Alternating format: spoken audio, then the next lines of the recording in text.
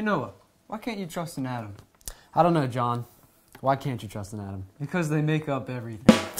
Very true, atoms do make up everything. Atoms are also made up of three subatomic particles protons, which are positively charged, electrons, which are negatively charged, and neutrons, which are neutral. Hey Noah, what's an atom look like? The traditional atom looks like this. That's not a very good representation of an atom. What if we pretended that baseball is the nucleus? Then the electrons would be around this stadium. Whoa! The electrons are really far from the nucleus. Electrons also have shells that surround the nucleus that are similar to the different rows of stands in the stadium. All forms of matter, both living and non-living, are made up of a limited number of building blocks called chemical elements. Different elements make up the three states of matter. For example, Fe or iron is a solid, H2O is a liquid, and O2 is a gas. Each element is designated by a chemical symbol. Chemical symbols are one or two letters in English. Carbon's chemical symbol is C.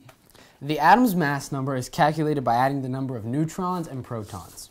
An atomic mass unit, or AMU for short, is the standard unit for measuring the mass of atoms and their subatomic particles. And the element's atomic number is determined by the number of protons. There are four elements that make up 96% of the body's mass. These are called the major elements. They are oxygen, carbon, hydrogen, and nitrogen. The lesser elements make up 3.6% of the body. They are calcium, phosphorus, potassium, sulfur, sodium, chlorine, magnesium, and iron. Not all elements have the same amount of protons and neutrons. These types of atoms are called isotopes. For example, oxygen usually has 8 neutrons, but some isotopes have 9 or 10 neutrons. Some radioactive isotopes are unstable, and their nuclei decay in stable configuration.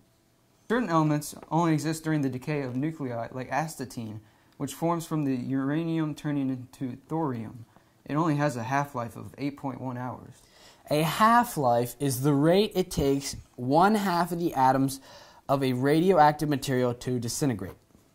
Just like atoms can have different numbers of protons and neutrons, they can have different numbers of electrons and protons and have different charges as well. Atoms with different numbers of electrons and protons are called ions and can form ionic bonds.